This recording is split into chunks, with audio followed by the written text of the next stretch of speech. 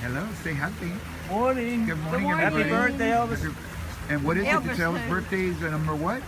80. 80. And who, who's the lady in the oh, God. middle?